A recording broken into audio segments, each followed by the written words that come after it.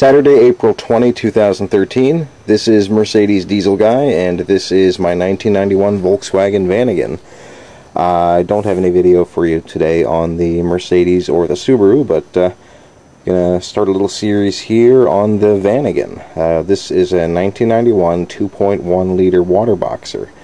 I actually uh, did a series of videos, not a complete DIY, but kind of just a video blog of uh, installing this engine last year.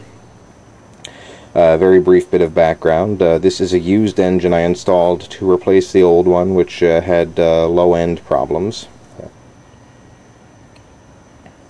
Bit of background. This is a used engine. I installed it last year uh, with unknown history, and I used it to replace an engine which had uh, bottom-end problems. So,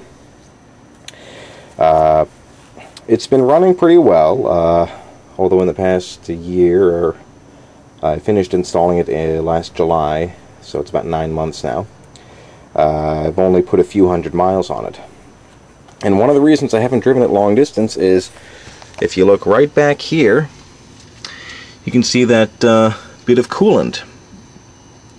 And the uh, driver's side head gasket is leaking. Now, uh, of course, uh, for those of you who are very familiar with Vanagons, you know that head gasket is a little bit of a misnomer. Um, these engines don't have a proper head gasket in the traditional sense, and once I have this all apart, I'm going to show you that. But um, bottom line, the engine's running pr uh, pretty well. Um, I'm not getting uh, uh, I'm not getting mixing of coolant and oil, which is good. But I do have a uh, leak here at the outer water jacket gasket on the driver's side. So uh, I tried a whole bunch of stuff actually to um, patch this up. You can see some. Uh, I cleaned uh, I cleaned off the engine and I smeared it with uh, gray silicone uh, on the outside, which did not seem to do anything. And I tried a couple of different brands of stop leaks. Uh, um, Thankfully, I did not uh, clog the cooling system. Uh, the van is still cooling. It's still um, cooling system still working just fine, but I certainly don't want to uh, mess around with that anymore. Because uh, I've already dumped a couple of things in here and it's not stopped the leak. It did seem to slow it down a bit, but uh, it's not stopped. The only way to properly fix this is to replace the gasket, and I'm going to be doing that over the course of the next couple of weeks and I'm going to be doing a series of videos on that. Um,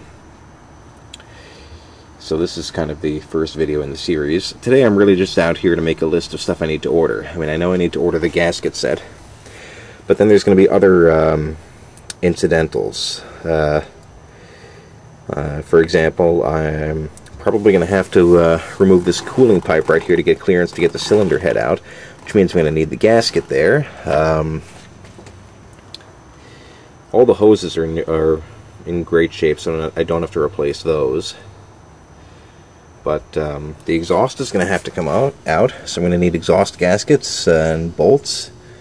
Uh, I don't know if I'm going to be re replacing the cylinder head or uh, reinstalling the same one.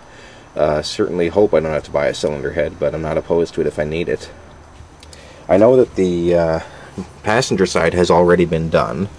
Uh, you can't see it from this angle, but um, the passenger side has an aftermarket cylinder head by AMC, and um, I've touched the outs the outer gasket, and it still seems soft and pliable, which means that was done in the not too distant past.